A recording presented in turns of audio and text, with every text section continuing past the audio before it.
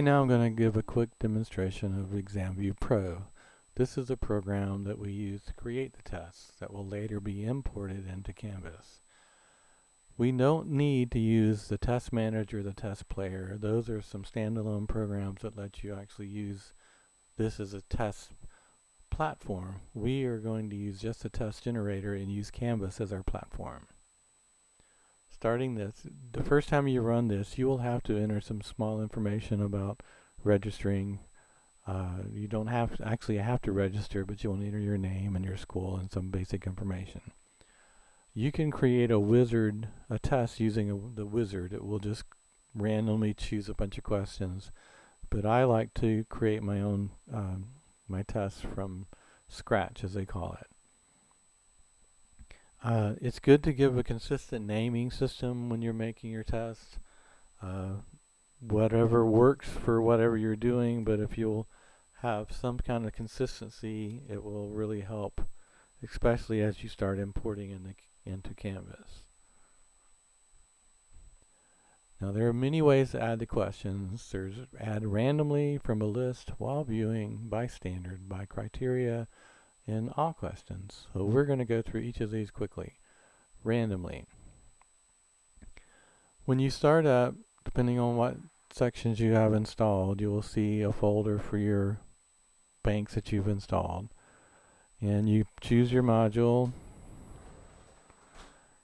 and then you click the next button, and then you get a choice of the type of question, and you can choose any number. Uh, I'm going to choose one of each one so that we can uh, see each type of question.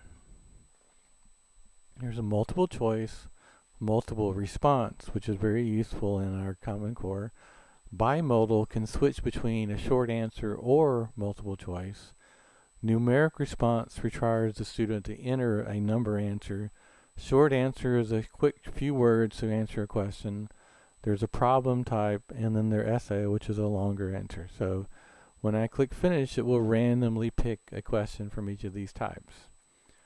And so you can see the different quiet, uh, different questions that are chosen. So like this one is a problem.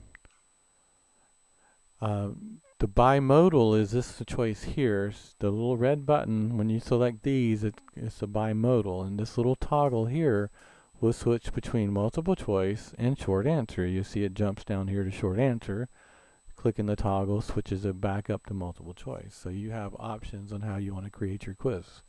So that's one way to add questions. Another is to choose it from a list. And I'm going to use the exact same module. And then this creates a list and you can see the questions by the question number, the type of study.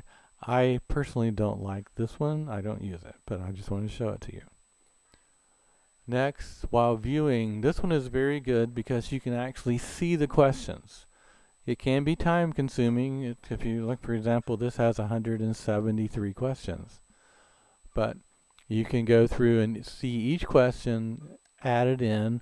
You can even choose all of the multiple choice if you'd like to in each section.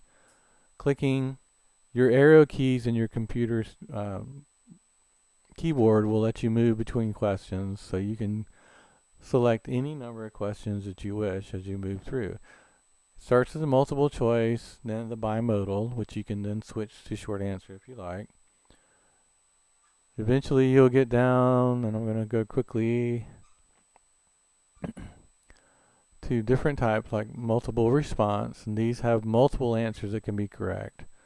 And so you just move through the list, find questions that you think match what you're studying, and then as you choose the ones you're looking for, when you click finish, it will add those questions to your test.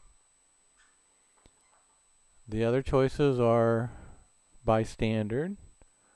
I'm going to use the exact same section. And you can choose the learning objective, and you'll see the learning objective listed.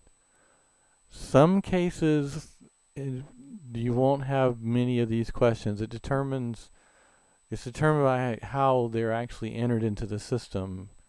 And so if you don't see many choices, that means they haven't been entered with correct information.